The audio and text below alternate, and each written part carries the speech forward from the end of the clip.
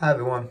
So in this video, I'm going to show you how to use the notes of a G major pentatonic scale to make up some fills over these three common chords. G with four fingers, C add nine, and D sus four.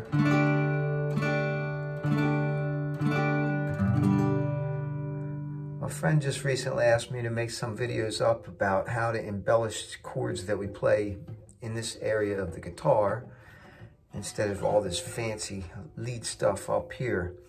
So uh, here's my first attempt at trying to give you some ideas of how to fill in some of the spaces, um, how to connect the chords, and how to just play along notes with your rhythm.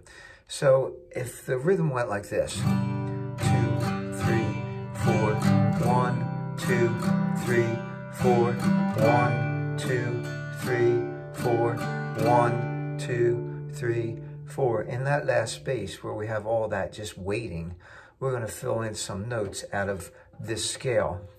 The scale again goes G, open A, string 5 open, string 5 fret 2 is B, string 4 open is D, string 4 fret 2 is E, and then our root note G is on string 3 fret open. Those are the first five notes, G, A, B, D, E, G of the G major pentatonic scale. We can also start on the middle G, string three open, play A on fret two of string three, B is string two open, D is string two fret three, G is, I mean E is open and G is string one fret three. So G, E, D, B, A, G.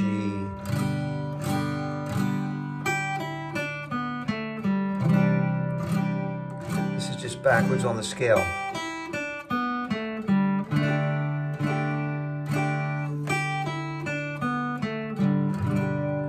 Sounds great. I'll do it again for you.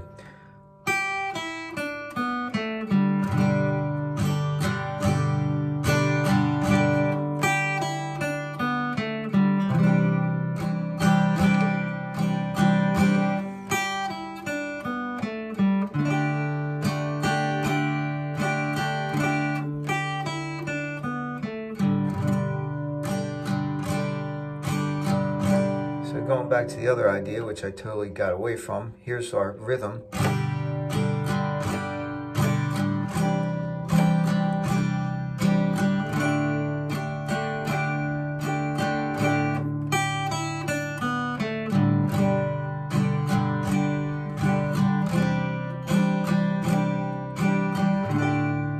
Different fill.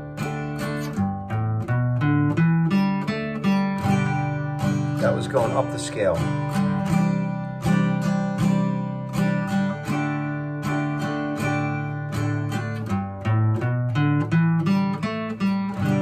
Now I'm going to put some in between the chords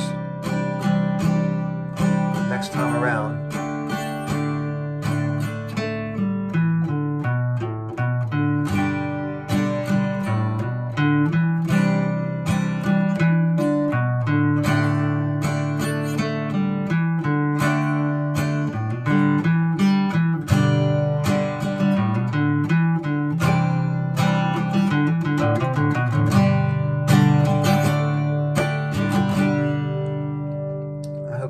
This lesson. There's more fills and more tricks to embellish these open chords down here coming up.